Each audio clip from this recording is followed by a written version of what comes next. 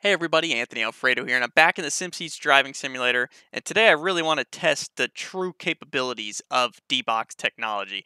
As you can see, I have their iRacing motion code settings up, and we've got the global parameters set to 100. That's what we've been running, and this is all default right here, and these are the things I want to mess with. I'm curious how crazy this is going to get, if it's going to be more realistic, less realistic, maybe there's uh, a little bit of fun we can have with just some absolutely crazy experiences, especially on a track like this. I think there's no better place to test this out than an off-road dirt track, in this case Wild West Motorsports Park, with a Lucas Oil off-road racing Pro 4 truck.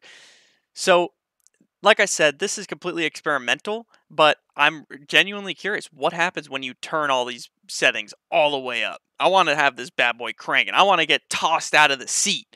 No, I'm just kidding. Maybe not not maybe not that. That's a little too far, but we'll uh we'll we've already tested this before at baseline settings and you've seen that video and to test the true capabilities, we're just going to turn these up, I guess. Maybe we'll go halfway for now with everything. So I guess we can go, if this is at 40 currently and it goes up to 60, we'll just go 50.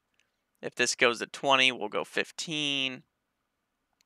And we'll go one by one here. So I guess we'll just keep. This is going to be nuts. I already know it. Yeah, this is 62, so we'll go 50.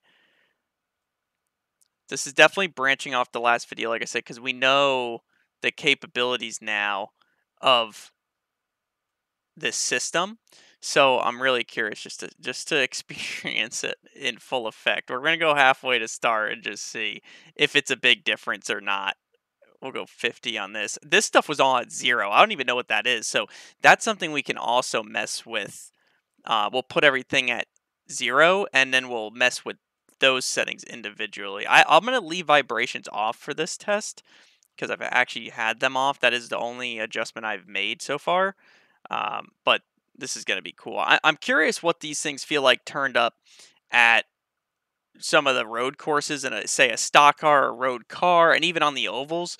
Um, I think they they nailed it right. You, you know, hit the nail right on the head with their baseline motion code settings for the ovals and, and even some of the road courses from my experience. But we'll we'll go ahead and save these and and try it out here. But uh, it's it's really unique, and I think it's super cool that you can adjust all of those haptics.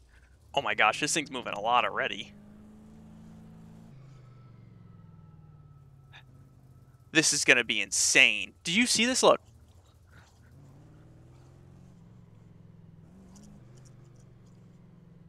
Oh my gosh, this is going to be crazy.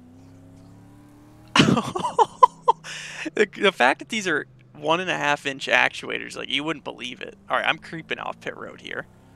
I'm I'm a little nervous. We'll stand on it. We'll open it up. Oh yeah.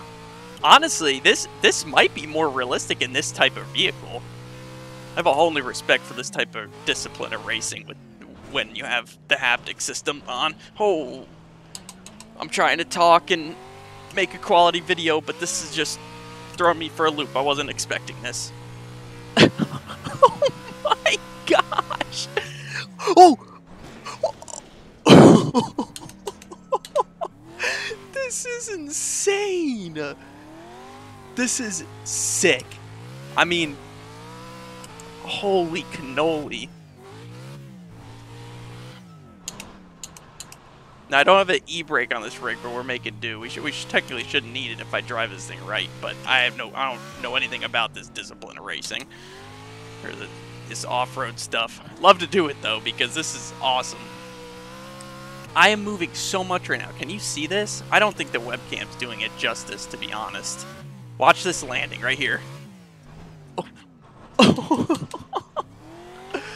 oh my gosh. This is wicked cool, man. Oh, yeah. Here we go.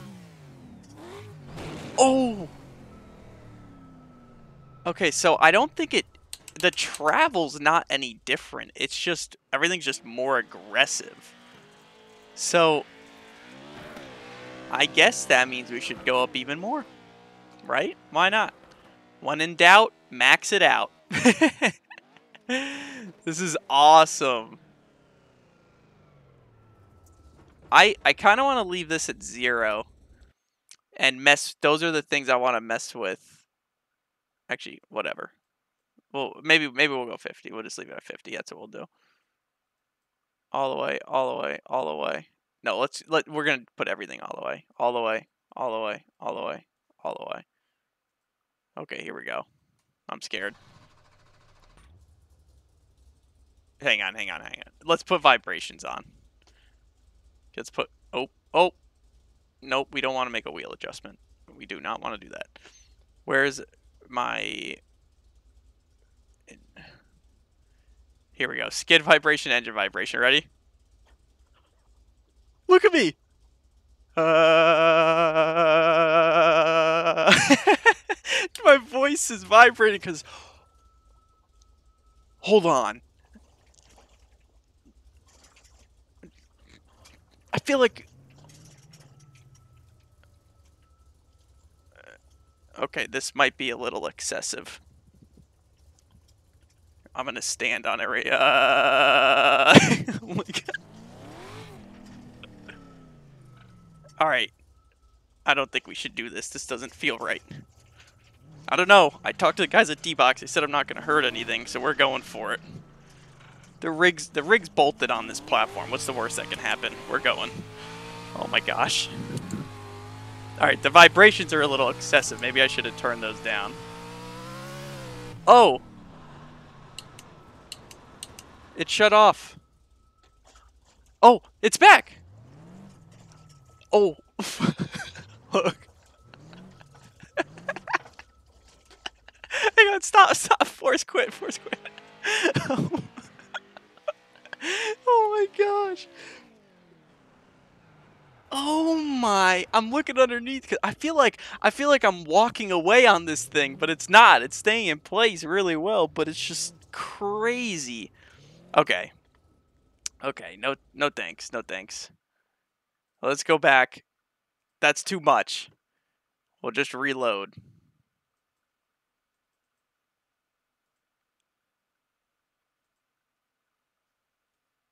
Will it fix everything?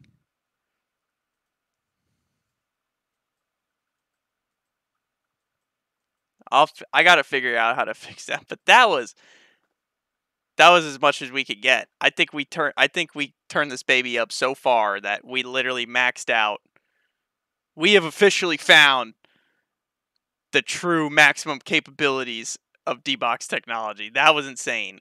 I guess the next thing to do is to try that at a road course or something. I think Long Beach without rough it is is probably the next best place. But th- th- this is these are just such dramatic movements and everything in these vehicles. So I'm curious what it feels like there. So hang around for part two, why don't you? Let me know what you thought about this video. Thank you all for watching so much. That was that was really only a lap, and then we made it off pit road, and that was it was too much to handle. My I'm like tingling from how much vibration and everything there was. That was an incredible experience. I with wish all of you could come here and try this right now, but uh, we'll we'll try this again in some other disciplines of racing and see how it stacks up. But let me know if you do want to see that in the comments below and leave a like if you thought that was as crazy as it was because that was definitely not what I expected. But thank you all for watching. I appreciate support as always, and I'll talk to you all later.